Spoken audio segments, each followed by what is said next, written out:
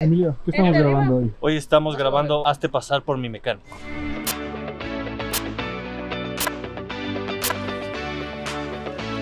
Ah, no lo hicieron en su casa. Esto es. Oye, nena, pero el cartel te quedó una chulada. ¿Qué haces cuando dañas algo que no es tuyo? Me voy corriendo. Ya, nos vemos de- en una hora. ¿Qué fue? ¿Ya habló con el mecánico? Eh, sí, mecánico. Bienvenidos caballeros a mi mecánica 100% real. ¿Qué estamos haciendo, Vivi?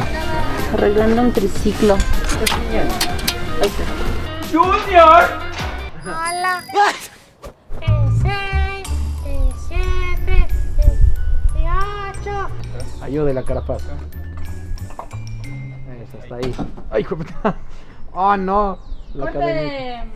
¿Qué haces cuando dañas algo que no es tuyo? Si no es mío, trato de hablar con la persona que es dueña y trato de buscar la forma ahí de que vuelva a funcionar o ver cómo se repone, lo que sea. Lo que pides por internet es lo que te llega. Mijo. Dime una Así mentira. es, lo que te acabo de decir ahorita.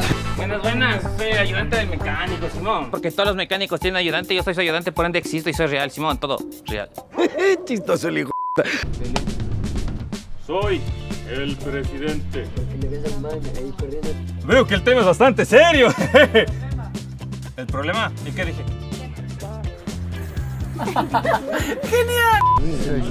Che, es para darle la importancia que vamos a requerir acá en el CEL ahora con mi compañero Julio Peña. Te invito a conocerlo, el director de este sketch. Adelante, viejo, adelante. Aquí, señor. Aquí. Che, Julio Peña. Ya. Pongámosle masita. Estoy haciendo, pues estoy haciendo. Este es inaudito. Usted no tiene el derecho de tratar a mi hijo así. No, Tal vez sea solo yo, un humilde mecánico. Claro que sí, 100% real, no fake. Dime una mentira.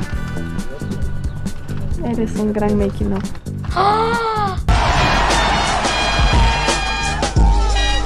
Silencio, Rodian, porfa, estoy rodando un ambiente.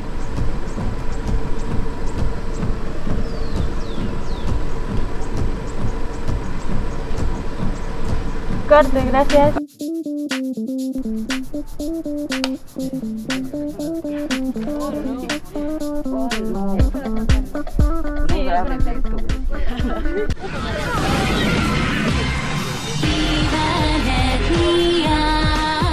Si les gustó el sketch, ya saben, suscríbanse, ah, comenten, síganos en las redes. Y agradecimiento a Gastón por el traje. Y si quieren un traje, ahí hay sketch.